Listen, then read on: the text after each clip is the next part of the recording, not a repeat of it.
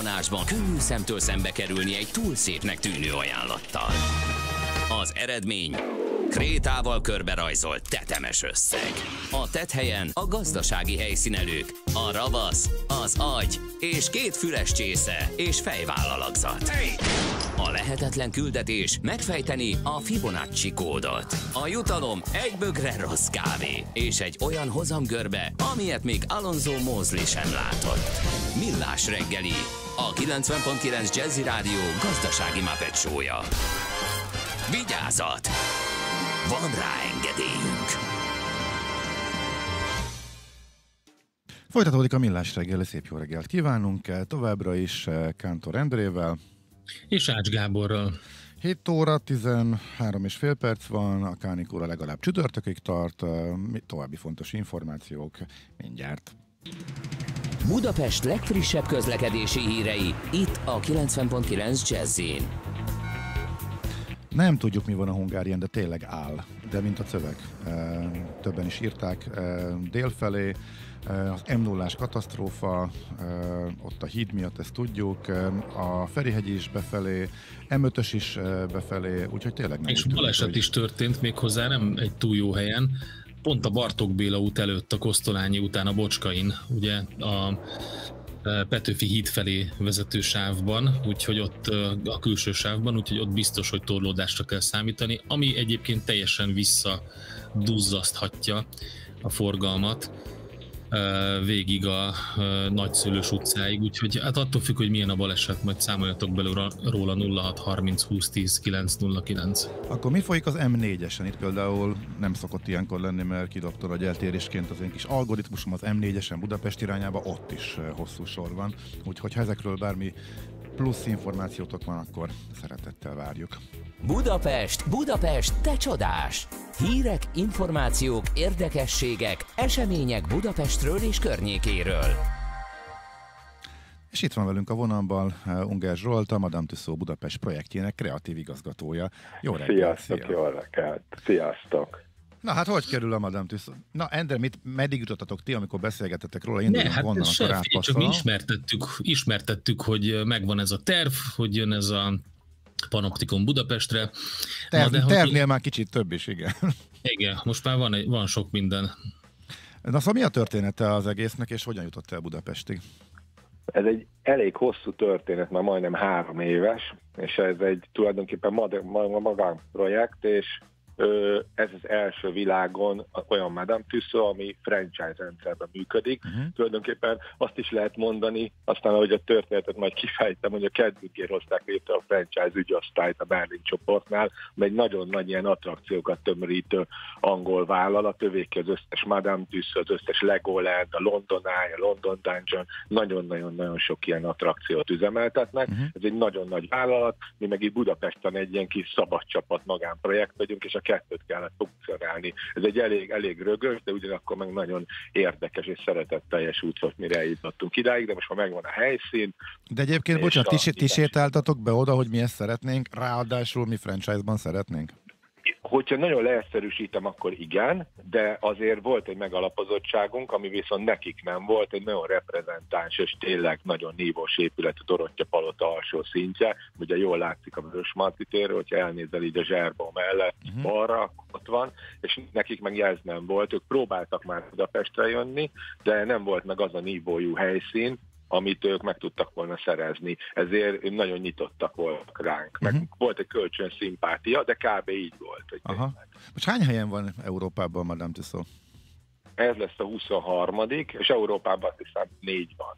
Uh-huh. Tehát a nagy része Európán kívül működik. Igen, uh-huh. meg és az is nagyon érdekes, hogy, hogy versenyben is voltunk két, meg nem, most nem tudom megnevezni, mert nincs a felhatalmazásom világhelyszínnel, mert ugye ez egy manufakturális dolog maga a tűszó figura. Igen. Nagyon kevés ember tudja csinálni, és limitált kapacitással, ezért nagyon meg kell gondolniuk, hogy hol nyitnak, hiszen majdnem egy éves termelést akkor elviszünk egy ilyen nyitásra, vagy több mint egy éves termelést. Pont, igen, pont ha. ezt akartam kérdezni, hogy, hogy hol készülnek a bábuk, meg hogy milyen folyamat. Ilyenkor ezt tényleg kézzel manufakturálisan elkészítik, és igen. ide szállítják Budapestre? Igen, igen, pontosan így. Egy, egy ilyen kvázi titkos bázison készül Londonban, én többször voltam ott, eszméletlen érdekes hely, Ugye ez egy 270 éves technológia egyébként, amit folyamatosan fejlesztenek. Ugye már nem viaszból vannak, hanem egyfajta speciális ilyen orvosi szilikonszerűségből,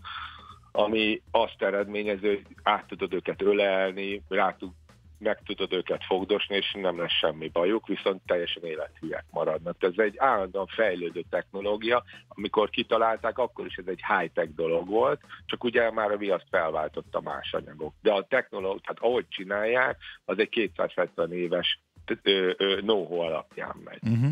Mennyire lehet, illetve mennyi játéktér van abban, mennyikor a mozgástér, hogy a helyi igényekre, illetve a helyi ismert személyekre szabják, illetve hogy ez itt Budapesten is hasonló volt el. Tehát van erre egy meghatározott szám, vagy százalék, van. hogy mennyi, és akkor ezen belül lehet mozogni, vagy ez, hogy működik ez egész? Itt, itt van egyébként a, a, a budapesti projektnek a legnagyobb ereje, meg a franchise-nak, hogy van egy általános direktíva, hogy ők azt mondják, hogy egyharmad ö, ö, globális híresség, egyharmad regionális és egyharmad kifejezetten majdnem, hogy az országból jövő dolog, uh-huh. de mivel a budapesti projekt teljesen speciális, ezért ö, ö, itt újra kellett tárgyalnunk a figuráknak a teljes összetételét, és azt lehet mondani, hogy egy olyan kollekciót tudtunk összerakni, ami minden ízébe valahogy egy kicsit rezonál Budapestre vagy Magyarországra. Úgyhogy ez egy elég speciális összetételű tűzszó lesz,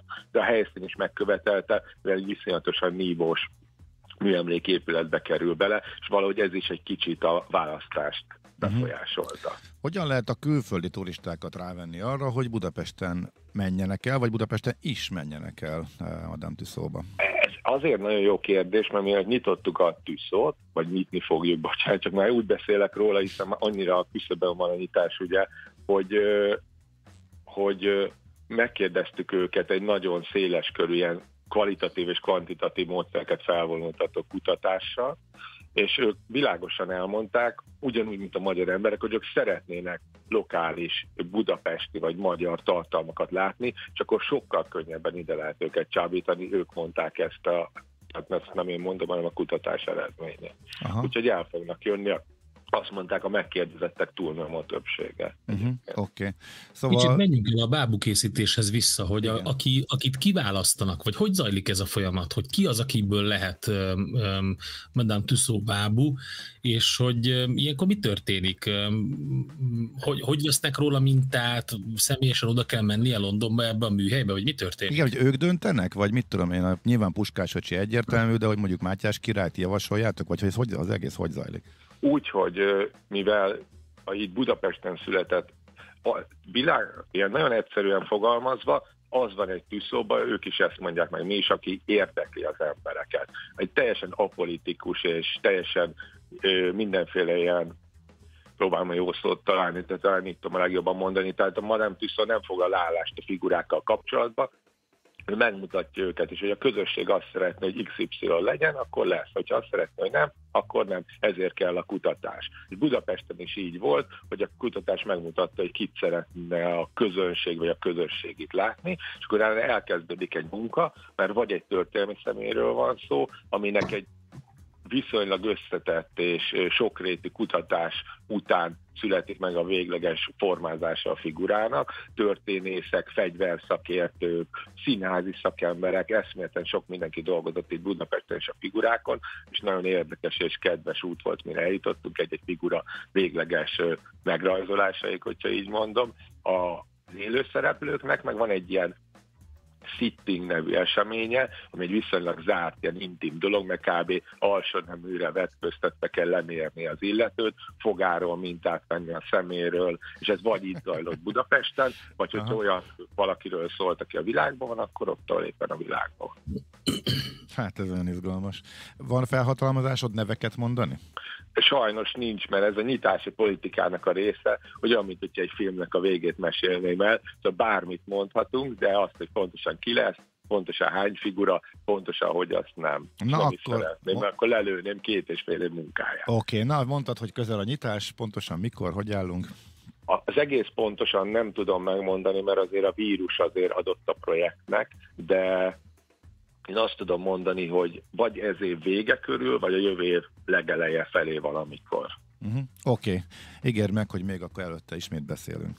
Persze, mindenképpen, Jó, amikor meg, meg lesz, majd egy figurát le fogunk letlezni talán az ősz folyamán, úgyhogy azt már megmutatjuk egy ilyen sajtóesemény keretében, úgyhogy bármikor hívhattok. Szuper, oké. Okay. Köszönjük szépen, hogy beszélgettünk Én erről. Köszönöm. További Én jó köszönöm. munkát, és akkor hajrá így vége felé.